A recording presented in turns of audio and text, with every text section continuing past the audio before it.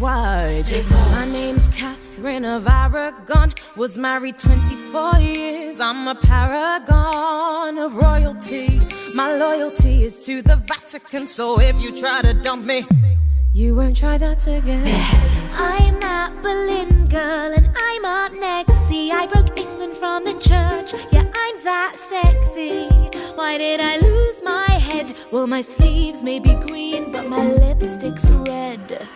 Die. Jane Seymour, the only one he truly loved. Rude. When my son was newly born, I died. But I'm not what I seem, or am I? Stick around and you'll suddenly see more. Ich bin Anna of Cleves. Ja.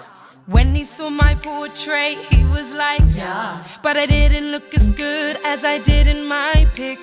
Funny how we all discuss that, but never Henry's little prick. up your ears, I'm the Catherine who lost her head. Beheaded. For my promiscuity outside of wed. Lock up your husbands, lock up your sons. Kay Howard is here, and the fun's begun. Survive. Five down, I'm the final wife. I saw him to the end of his life. The survivor, Catherine Parr. I bet you wanna know how I got this.